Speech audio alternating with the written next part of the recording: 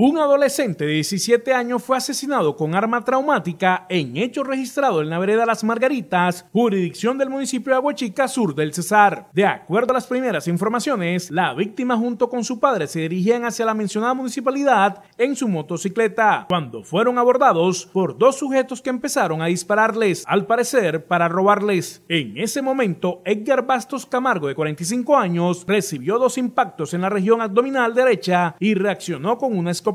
sin embargo, fue llevado hacia el hospital José David Padilla Viñafañe de esa localidad, en donde se encuentra estable de salud. Según el reporte de las autoridades, el hijo de Camargo recibió un impacto en la cabeza y murió instantáneamente, mientras que los delincuentes emprendieron la huida. Las autoridades dieron inicio a las investigaciones para dar con las capturas de los responsables de este suceso y ponerlos a disposición de la Fiscalía por el delito de homicidio, hurto y porte ilegal de arma de fuego o municiones. Investigadores llegaron al sitio y pudieron recolectar algunas elementos materiales de prueba e hicieron una inspección técnica al cadáver, trasladándolo a la morgue del Instituto de Ciencias Forenses de Medicina Legal en Aguachica para la necropsia de rigor.